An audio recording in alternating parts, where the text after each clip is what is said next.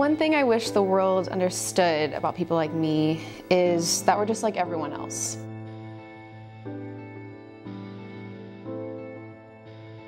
I drive a car, I go to college, I hang out with my friends. I love to play music. I study for my exams like any other college student. When I'm hungry, I love to go to Wendy's. When I'm thirsty, I drink blood.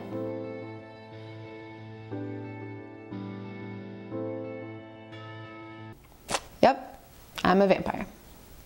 Surprise! See, no one notices unless I tell them. And they have all these questions like, do you sleep in a coffin? Or do you have fangs? Or do you kill people? And I always tell them, yes, yes I do. No, I'm totally kidding. No, I don't have fangs. No, I don't sleep in a coffin. Yes, I drink blood. I'm a vampire. My parents have to keep me supplied, but it's kind of a far trip, so they just ship it to me. And they live in Transylvania? Texas. My mom works at a regional blood donation center. All vampires do. She swipes a bag now and then and sends it my way. Some vampires drink every day, but I'll just have maybe one or two glasses a week just to unwind. I'm not a binge drinker. Yeah, I've met a few other vampires here at college, um, in class and at some parties. You can always tell by their scent. Undetectable by humans, of course. But just like humans, we all have unique personalities, and I just haven't really found one that I want to be friends with yet. I'm sort of a lone wolf. No offense to my werewolf friends. But October's kind of the worst.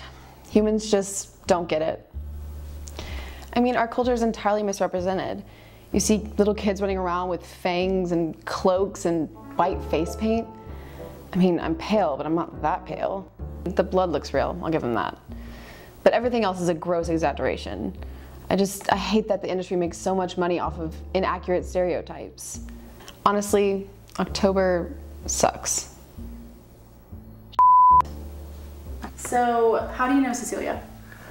Uh, yeah, Cecilia and I were we're best friends. Uh, we met a few years back at orientation um, and discovered that we we share a mutual love for Wendy's. And what's it like being best friends with a vampire? You're a, va- you're a vampire?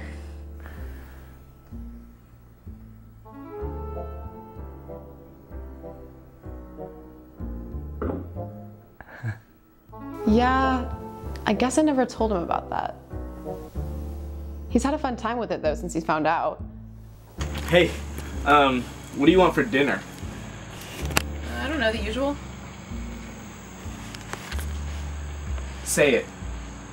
Out loud.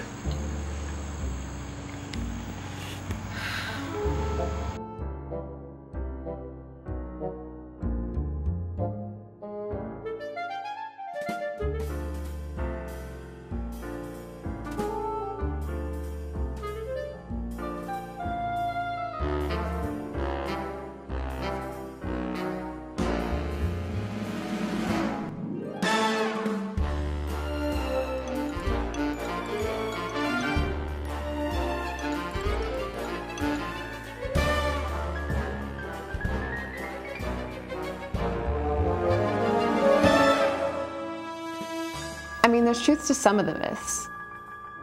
The garlic thing is real. I can't go to Olive Garden or any Italian restaurant for that matter. Sunlight doesn't make me burn per se, but I'm extra sensitive to it. Beaches are definitely a no-go. I usually visit my aunt in Portland during the summer to avoid the inconvenience.